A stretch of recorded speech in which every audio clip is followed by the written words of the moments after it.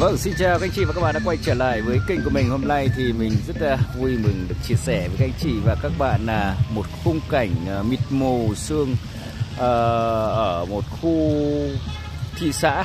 Vâng, các anh chị và các bạn nói đến đây chắc chắn là các anh chị đã biết ở đâu rồi đúng không? Về mùa này ở đâu thì chúng ta có thể một sương mù mịt như thế này với khoảng cách chỉ độ khoảng tầm à, uh, 15 mét là chúng ta đã không nhìn rõ mặt nhau rồi và à, các bạn có biết tôi đang đứng ở đâu không ạ?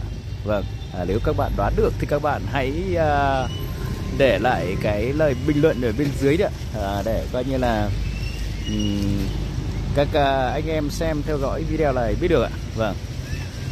Vâng để tránh mất thời gian và để các anh chị à, và các bạn à, không đi tìm tòi xem là hiện nay à, tôi đang đứng ở đâu thì tôi xin bật mí cho các anh chị và các bạn biết đó là hiện nay tôi đứng đang đứng ở phố Hoàng Diệu thuộc uh, thị trấn Sapa.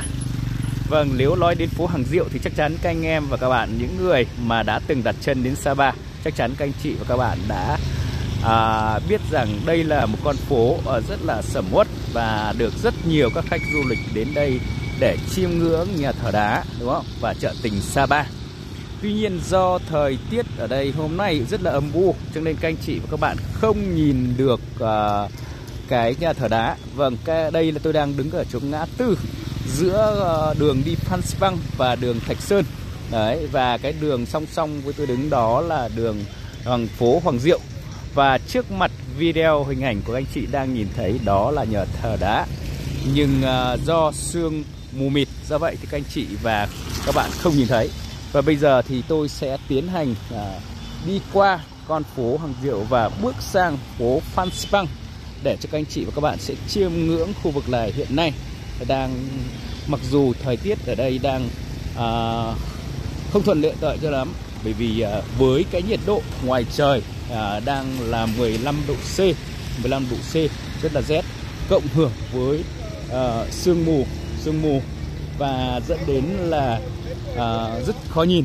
Ở đây thì à, các anh chị nhìn thấy chưa? À, quang cảnh ở đây thì rất là đẹp. À, mặc dù cái thời tiết như tôi vừa nói ở trên à, rất là à, rét nhưng à, một khi à, chúng ta đã đi tham quan và chúng ta đã đi du lịch thì không ngại rét. Đấy đúng không ở đây là gọi là Phan Xipang và 3143 m so với mặt nước biển ở độ cao các anh chị nhé. Đấy thì các anh chị và các bạn nhìn thấy trên quang cảnh ở gọi như thành phố uh, Sapa và khu vực Phan Xipang này thì uh, được rất ờ, nhiều uh, anh anh chị uh, du lịch đến đây để uh, chụp ảnh check in ở khu vực này. Và khu vực này thì các anh chị nhìn thấy chưa có một đôi tình nhân uh, đang chia ô cho nhau đứng tỏ tình một ý một anh coi nhà người uh, dân bản và cầm kèn đang nhảy trông rất là đẹp đúng không đẹp mắt và có những hàng cây ờ, có những hàng hoa để tạo lên cho chúng ta một khung cảnh à, đi lên à, sân trời và rất là đẹp đúng không các anh chị nhìn thấy hình ảnh chưa? Và đặc biệt có một cây à, ở đây thì có một cái cây hồng không biết là hồng thật hay hồng giả thì tôi sẽ đi gần vào cho các anh chị và các bạn chiêm ngưỡng nhé. Đấy, chiêm ngưỡng ở khu vực này. Đấy. với một bối cảnh à, được tạo lên xây dựng à, rất là đẹp mắt à, với cây hồng này là cây hồng thật các anh chị nhé, hồng thật đấy các anh chị ạ không phải hồng giả các anh chị ạ. Đấy. và ở đây thì có một uh, những chú uh, trâu một đàn trâu thì gồm có trâu mẹ và các con nghé con uh, với hình ảnh Happy New Year ở trên mặt màn hình các anh chị uh, nhìn thấy. Đó là biểu tượng cho một uh, uh, cái khu vực miền núi uh, các cái dãy núi của chúng ta mà chúng ta trồng cấy lúa được. Đấy, thì đây là những cái hàng lúa uh, tạo lên cho chúng ta với uh, phong cảnh để chúng ta tưởng tượng uh, chúng ta đang đi tham quan ở một khu vực thung lũng mà có những uh, uh, cái um, núi rất là cao và được những tầng tầng lớp tức là được những uh, cái bước để trồng được uh, coi như là uh, lúa đúng không ạ? Và sau đó thì các anh chị và các bạn nhìn thấy ở đây có một cái khung cảnh À, rất nhiều à, khách à, nước ngoài đến đây để coi như là chụp ảnh, check in khu vực này và tôi sẽ tiếp tục đưa các anh chị các bạn đến tham quan ở một cái khu vực bên trong này có rất là đẹp, các anh chị và các bạn nhé đặc biệt là các anh chị và các bạn nhìn thấy rằng đây là một cái cây hoa lan mà cuộc đời tôi lần đầu tiên tôi nhìn thấy, rất là to, các anh chị ạ các anh chị nhìn thấy chưa Đấy. tuyệt vời chưa Đấy. Đấy chia sẻ cho anh chị và các bạn để các anh chị xem chiêm ngưỡng nữa. Đấy. Đấy, đây là trong đây thì rất là đẹp. Nếu như các anh chị và các bạn à, đến đây vào coi như là cái thời tiết khí hậu mà nó không bị sương mù thì đây là một không gian à, để cho các anh chị và các bạn check in tuyệt vời tuyệt vời. Và nếu như các anh chị và các bạn là, là lần đầu tiên ghé thăm kênh thì hãy ủng hộ kênh bằng cách là các anh chị hãy nhớ nhấn nút đăng ký kênh và nút chuông để mỗi khi kênh chia sẻ những clip mới thì các anh chị và các bạn à, sẽ được à, nhận những clip um, mới của kênh chia sẻ nhé. Và nếu như các anh chị và các bạn à, có những câu hỏi gì thì hãy đặt câu hỏi phần bên dưới bình luận kênh sẽ trả lời sớm nhất các anh chị và các bạn có thể. Vâng, đây phải nói là một khu vực mà để cho các anh chị và các bạn những thanh niên uh, làm nữ đến đây để mùa chụp ảnh check in thì tôi thấy nghĩ cho là một khu vực tuyệt vời bởi vì như các anh chị và các bạn đang nhìn thấy trên màn hình mang lại cho các anh chị và các bạn à, rất nhiều cái coi như là hình ảnh đẹp của khu vực Sapa Đấy. mặc dù thời tiết à, ở đây không được thuận lợi lắm trong cái buổi mình à, à, chia sẻ video cho các anh chị các bạn nhưng nó vẫn mang lại được những ý nghĩa về lịch sử cũng như là À, mang lại được những cái hình ảnh sắc nét của à, đậm sắc của coi như là dân tộc à, và của Sapa và những cái biểu tượng hình hài Đấy. Khi mà chúng ta nói đến Sapa thì ai cũng mong muốn rằng mình được bước chân đến những khu vực của trung tâm đúng không? Trung tâm. Để làm sao chúng ta à, ngắm được những cái cảnh đẹp và à, mang lại được những hình ảnh à, về coi như là khu vực ờ, mà mình đã đến để mỗi khi nhớ lại thì ờ, mình coi như là ờ, xem lại mang lại thì cái gợi nhớ cho chúng ta một thời. Vâng thì như các anh chị và các bạn đang nhìn thấy trên màn hình có rất nhiều khách nước ngoài cũng đến đây du lịch. Vâng, tôi không nghĩ rằng à, là lại nhiều khách du lịch đến mức độ vậy à, của khách nước ngoài đến du lịch như vậy. Bởi vì trước kia thì tôi cũng đã có nhiều lần đến đây tuy nhiên thì đến đây thì chỉ có coi như là thấy rằng là là người Việt đến du lịch thôi chứ không nghĩ là thành phố Sapa à, thị xã Sapa lại nhộn nhịp đông như vậy. Mặc dù thời tiết à, hiện nay đang là 15 độ C và trời thì à, à, sương mù à, và khoảng cách à, nhìn xa là không nhìn thấy. Nhưng mà vẫn rất là đông đúc à, à, mọi người đến đây để tham quan khu vực này. Và vâng.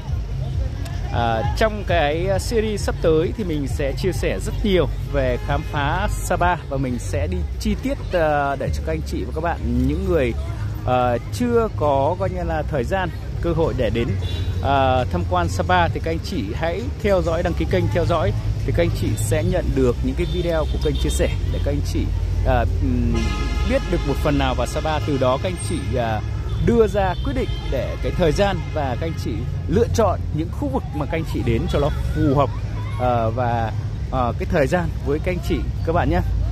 Đấy thì hiện nay đây chỗ này đang gọi là chỗ trung tâm trung tâm của thị xã Sơn Ma. Đấy, và khách uh, nước ngoài đây là một đoàn khách nước ngoài. À, tôi cũng không biết để là tiếng nói tiếng nước gì nữa. Và đến đây thì uh, các khách hàng đều mua những cái ô về biểu tượng uh, của coi như là các uh, um, bà con dân bản của khu vực uh, Sapa này. Các anh chị nhé.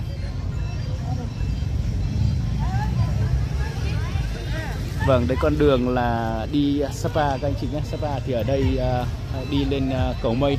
Do vậy thì các anh chị thấy rằng có rất nhiều các cái xe điện cũng như là các xe coi như là taxi để phục vụ các anh chị và các bạn. Vâng với khoảng cách từ đây lên cái uh, sân mây thì các anh chị có thể đi bằng taxi taxi nha các anh chị nhé đây đưa đón thì rất là nhiệt tình và rất nhiều khách đi uh, tham quan. Và tôi sẽ dẫn các anh chị đi vùng quanh và bên tay phải các anh chị và các bạn thì đó là một khu bờ hồ một khu hồ các anh chị nhé Đấy, các anh chị nhìn thấy chưa?